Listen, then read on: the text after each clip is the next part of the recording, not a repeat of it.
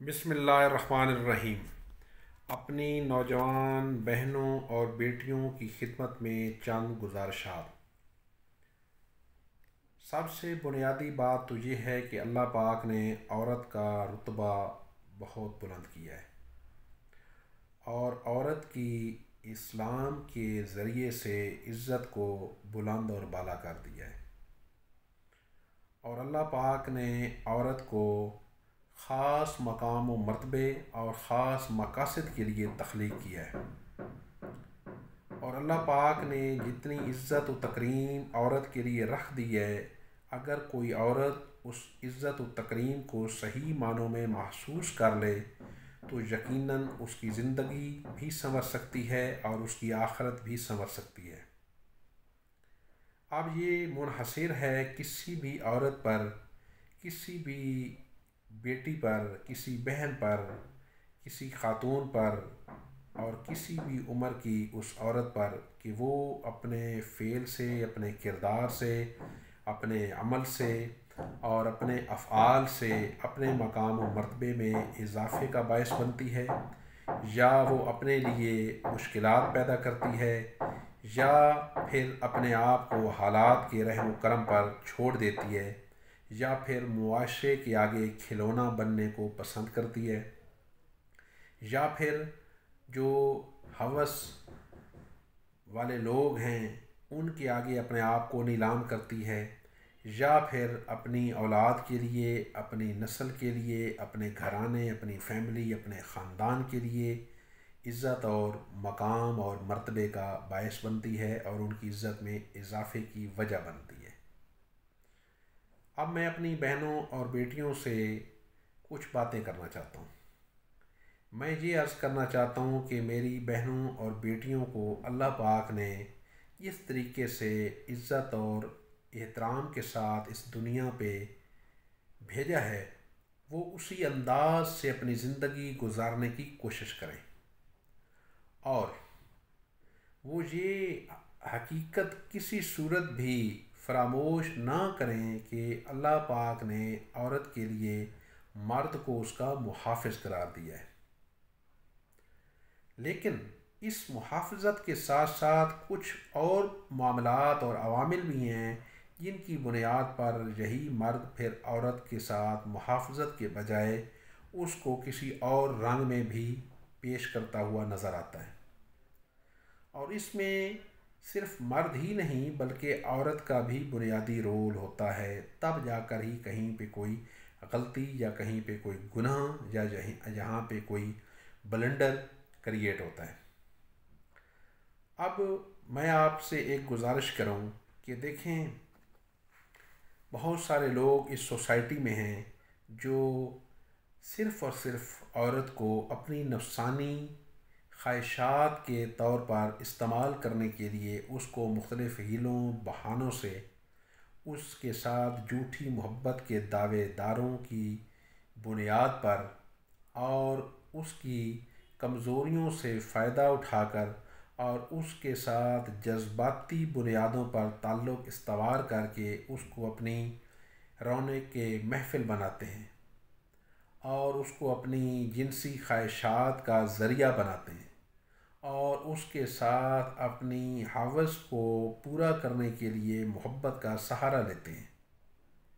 ये वो तलख बातें हैं जो बहुत ज़्यादा तकलीफ़ दे भी हैं, लेकिन ये हकायक हैं। लेकिन अब मैं चूँकि मुखातिब अपनी बहनों और बेटियों से हूँ तो मैं उनको ये कहूँगा कि देखें इस वक्त आप यूनिवर्सिटी में पढ़ रही हैं। आप किसी इदारे में जॉब कर रही हैं।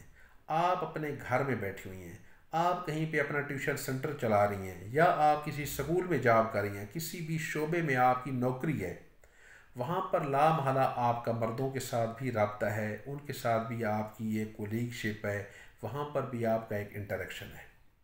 लेकिन अगर आप अपने आप पर काबू रखें, आप अगर अपने आप को पुख्ता रखें, अपने यकीन और ईमान को पुख्ता रखें, अपने किरदार को मुसलमा रखें तो बहुत हद तक आप उन लोगों से बच कर रह सकती हैं जो सिर्फ़ और सिर्फ़ आपकी जज्बाती और आपकी किसी कमज़ोरी को बुनियाद बनाकर आपके साथ नाजायज़ तल्लुक़ इस्तवार करने की ख्वाहिश रखते हैं।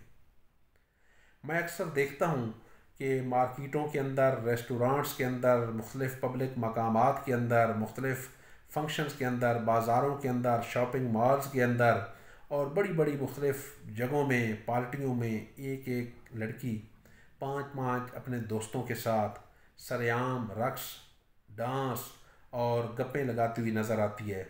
वो उनके साथ सिगरेट भी पी रही है, वो उनके साथ आइस का नशा भी कर रही है, वो उनके साथ और भी बहुत कुछ बूसो कनार भी कर रही है और वो उनकी दोस्त बनी हुई है। यूनिवर्सिटियों में भी यही माहौल चल रहा है। प्राइवेट सेक्टर के अंदर भी यही माहौल चल रहा है। बाज़ारों में भी यही माहौल चल रहा है और भी दीगर मुख्तलिफ़ जगहों पर यही माहौल चल रहा है। लेकिन एक औरत को चाहिए कि वो अपनी हदूदात के अंदर रहे, अपनी हदूद के अंदर रहे और वो ऐसा माहौल अपने लिए मत पैदा करे जहाँ पर कल वो गैंग रैप का निशाना बने, जहाँ वो लोगों की हवस का निशाना बने जहाँ उसकी इज़्ज़त महसूस, महफूज ना हो और जहाँ पे उसके किरदार पर उंगली उठे, जहाँ पर उसके ख़ानदान की इज़्ज़त पर उंगली उठे तो उसको चाहिए कि वो भी सोच समझ कर कदम उठाए।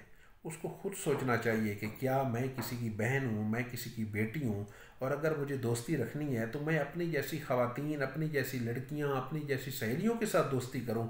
मेरा क्या बनता है कि मैं पाँच पाँच लड़कों के साथ रेस्टोरेंट्स पे जाकर आइसक्रीम आइसक्रीम सेंटर्स पे जाकर, मुख्तलिफ़ पार्कों में जाकर और मुख्तलिफ़ होटलों में जाकर और मुख्तलिफ़ मकाम और हाल्स में और मार्ज में जाकर मैं उनके साथ बैठूँ, उनके साथ गप्पे लगाऊँ, उनके साथ जो है वो तल्लुक़ात इस्तवार करूँ, उनके साथ गाड़ियों में घूमूं, उनके साथ लाहौर ट्रैवल करूँ, उनके साथ पिकनिक पर जाऊँ, उनके साथ शुमाली इलाका जा, जाऊँ, उसका क्या हक बनता है? क्या उसको ख़ुद नहीं सोचना चाहिए?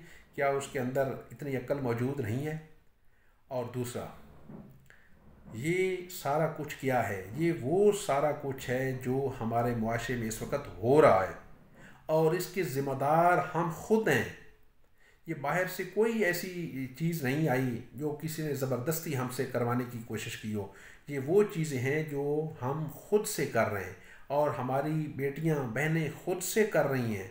और अगर मेरी किसी बहन को, मेरी किसी बेटी को कहीं पे जिनसी हरासगी का सामना है जहाँ पे उसको किसी की हवस के असरात और उसके आसार नज़र आते हैं तो उसको चाहिए कि या तो वो उस जगह को छोड़ दे, या उस नौकरी को छोड़ दे या वो उस मकाम पर जाना छोड़ दे या उन लोगों से मिलना, मिलाना छोड़ दे या फिर अपने ख़ानदान वालों को बताए, वहाँ से उनकी हेल्प ले या फिर उस चीज़ की वो कुर्बानी दे, लेकिन वो किसी के आगे गैंग रैप का निशाना बनने से पहले अपने लिए हिफाजती इकदाम करने को यकीनी बनाए।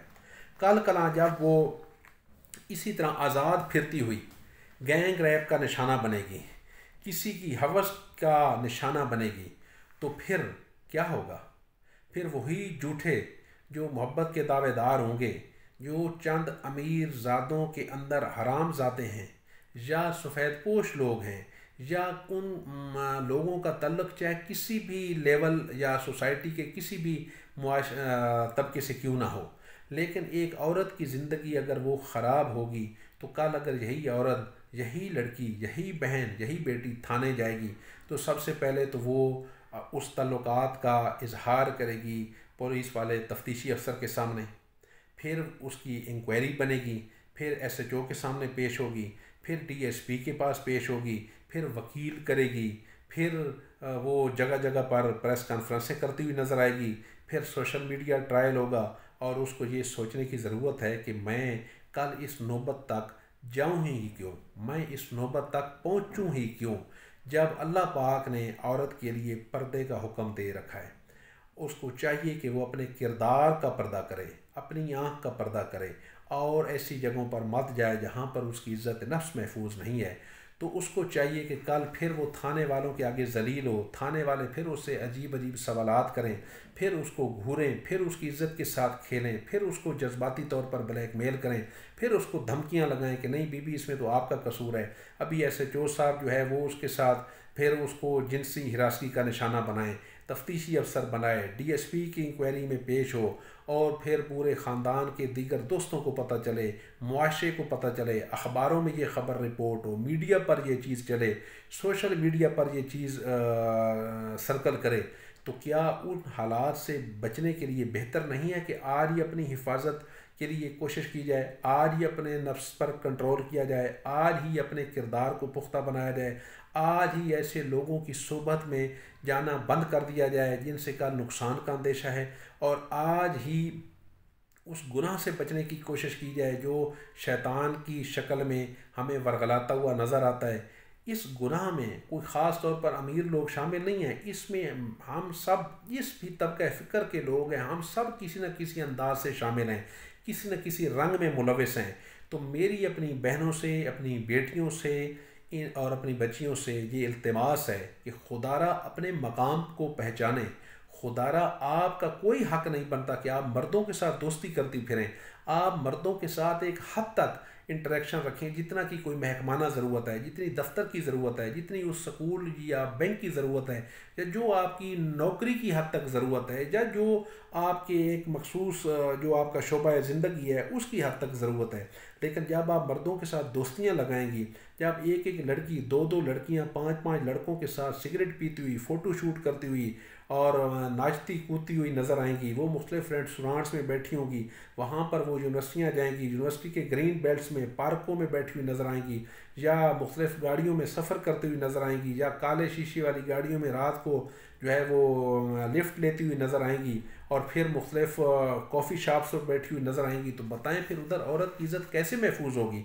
और कल कला जब वालदेन फिर रोते हुए अदालतों में दुहाइयाँ देते हुए नज़र आएँगे, मीडिया के सामने ये रोते हुए नज़र आएँगे कि हमारी बेटी के साथ ये हो गया हमारी भांजी के साथ ये हो गया हमारी फ़लानी के साथ ये हो गया तो देखें, अपने ख़ानदान को मुसीबत में ना डालें, अपने बहन भाइयों को मुसीबत में ना डालें और सबसे बढ़कर ये सोचें कि कल कला आपने शादी भी करनी है, कल कला आपके बच्चे भी होने हैं, फिर कल कला आपने माँ भी बनना है और उसके बाद फिर आपका मकाम एक वालदा का भी होना है।